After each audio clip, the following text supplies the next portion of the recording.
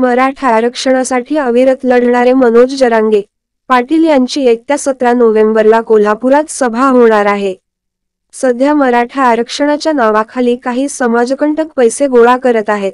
असे पैसे मागणाऱ्यांना कोल्हापुरातील दसरा चौकात कोल्हापुरी चप्पलचा प्रसाद दिला जाईल असा इशारा सकल मराठा समाजाच्या वतीने देण्यात आला. कोल्हापुरातील सभेसाठी जिल्ह्यातून दोन ते पाच लाख नागरिक येणार आहेत. त्यामुळे पोलीस अधीक्षकांशी चर्चा करूनच सभेचे ठिकाण निश्चित करण्यात येणार असल्याची माहिती सकल मराठा समाजाचे समन्वयक वसंतराव मुळीक यांनी शनिवारी पत्रकार परिषदेत दिली. शुक्रवारी दिपूर्णांक सतरा शतांश दुपारी दोन वाजता सभेस सुरुवात होईल.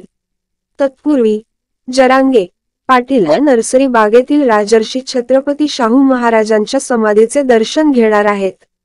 मराठा समाजाला आरक्षण मिळवून देण्यासाठी जरांगे पाटील यांनी तिसऱ्या टप्प्यातील आंदोलनाला सुरुवात केली आहे. त्यातूनच ते सतरा नोव्हेंबरला कोल्हापुरात येऊन आरक्षणाची भूमिका मांडणार आहेत.